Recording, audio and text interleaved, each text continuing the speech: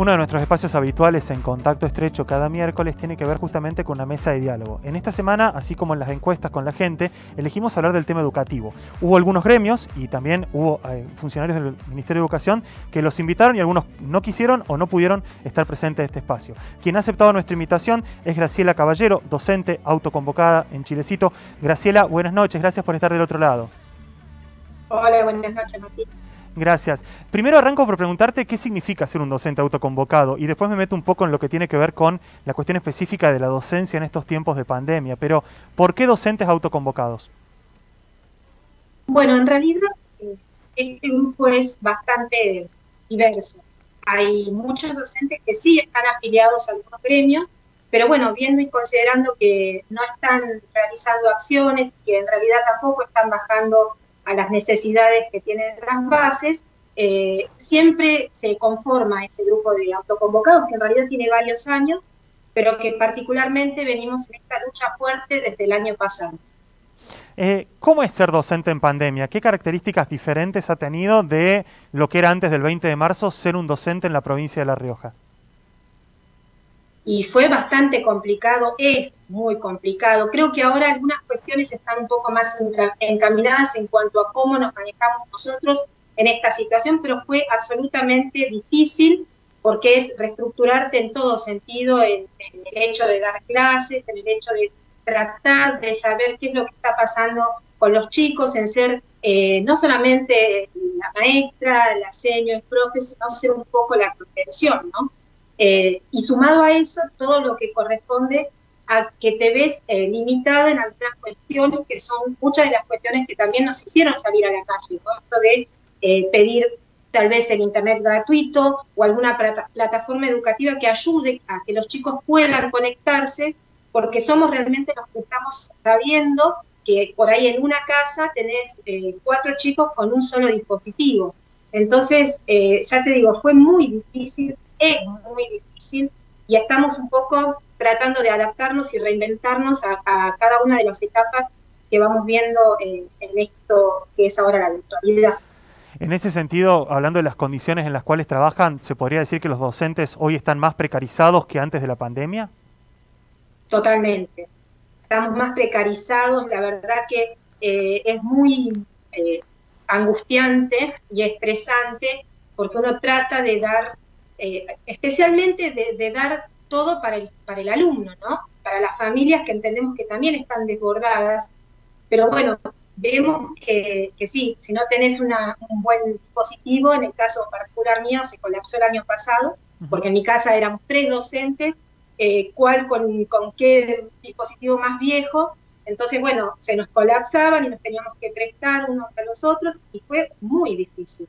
Y sí, yo siento que estamos precarizados y que encima de eso la, educación está siendo sostenida especialmente por, por nosotros y por los padres.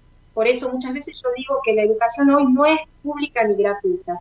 El que no tiene el dispositivo, el que no tiene internet, llámese alumno, docente, eh, no está pudiendo acceder ¿no? a la educación y es lo que más nos preocupa.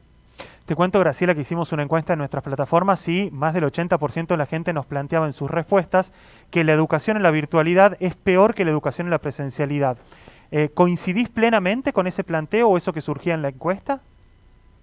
Sí, sí, yo creo que eh, es terrible porque eh, entendemos también las limitaciones, por supuesto, del lado de la familia en cuanto a lo pedagógico, que por supuesto se entiende que no tienes que saberlo. Yo creo que ahora se notó eh, realmente lo que es la profesión de docente, ¿no? A veces como que uno deja por sentado algunas cuestiones como que todos sabemos leer y escribir entonces es más fácil y es y ahora creo que la, ahí se notó lo que es eh, aprender a, enseñarle no a uno como está pasando a veces en, las casas sino a 30 chicos y creo que ahora se presentó más esta eh, necesidad tal vez de volver a escalafonar al docente como, como un profesional realmente necesario, ¿no? Salud y educación creo que son esenciales y me parece que es un poco lo que desnudó esta pandemia.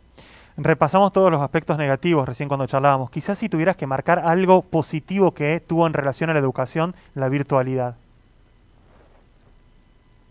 Y mira, eh, creo que tal vez estuvo bueno en algunos aspectos poder eh, ver cómo algunos padres se tratan de, ayudar a los chicos, que a veces por ahí es lo que más nos cuesta, ¿no? Cuando es la presencialidad, muchas veces, especialmente yo hablo del nivel primario, pero en realidad es en todos los órdenes, ¿no? Pero creo que es donde más se nota a veces esta falta de acompañamiento a veces de los padres, y, bueno, y es como que acá eh, nos tenemos que poner la camiseta todos, Entonces creo que eso lo destacaría como algo importante.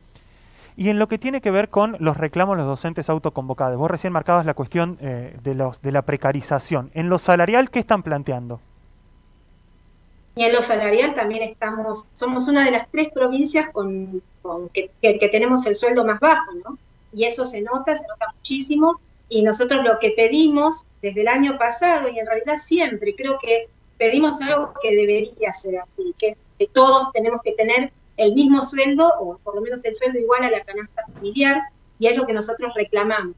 Hoy tenemos una canasta familiar de redondeando 60 mil pesos, y nosotros ni siquiera con estos 3 mil pesos, que realmente son una miseria, llegamos hasta la mitad. Entonces, eh, nuestra lucha es por eso, es por, conseguir un sueldo digno.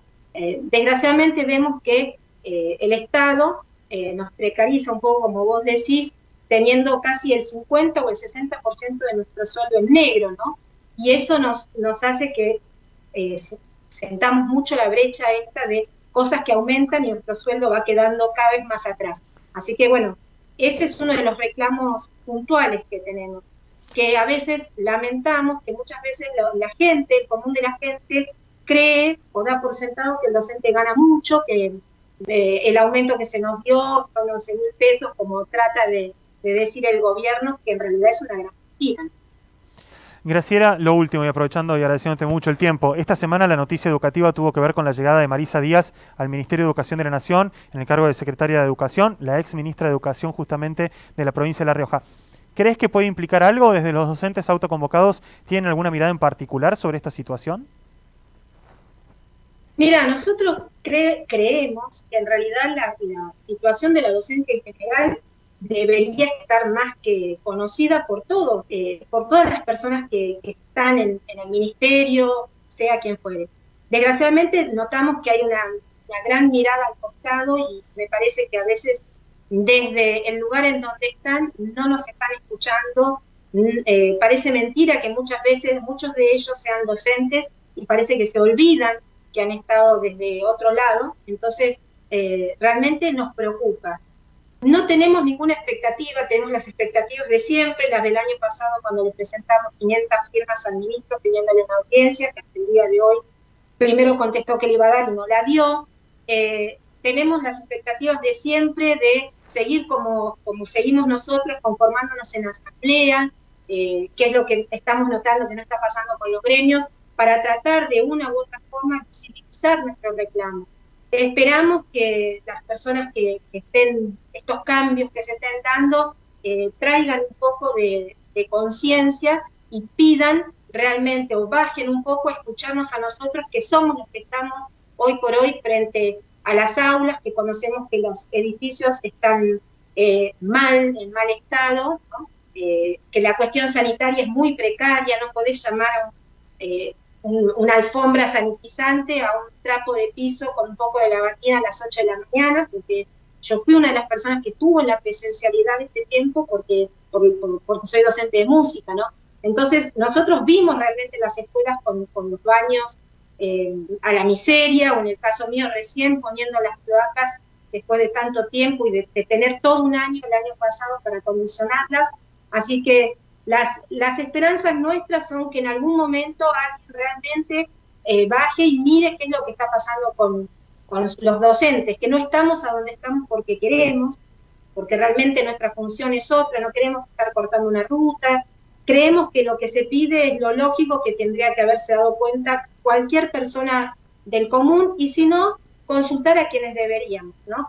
Nosotros estamos siempre abiertos como docentes autoconvocados a todo, a los gremios, hemos, de hecho hemos tratado de llevar nuestras eh, propuestas a los gremios y bueno, no hemos tenido repercusión. Estamos abiertos a que el ministro en algún momento realmente se comprometa y lo cumpla, ¿no? Y nos atienda. Y si no, seguiremos desgraciadamente luchando hasta que eh, alguien eh, se digna a darnos una respuesta, ¿no? Porque la, la lucha nuestra es genuina y es por una educación pública gratuita y con salarios dignos, con docentes hoy en esta situación tan terrible vacunados, que realmente acá fueron muy poquitos, eh, y esperamos que eso, que seamos escuchados y convocados, porque creo que podríamos aportar muchísimo más desde nuestro lugar. ¿no? Graciela Caballero, muchísimas gracias por habernos acompañado esta noche aquí en Contacto Estrecho. Muchísimas gracias a ustedes. Saludos. Hasta luego. Ahí pasaba la mesa de diálogo relacionado con todo lo que tiene que ver con lo educativo, que ha sido uno de los ejes de esta noche en Contacto Estrecho. Pequeña pausa y ya volvemos para seguir repasando algunos de los temas más importantes que dejó esta semana.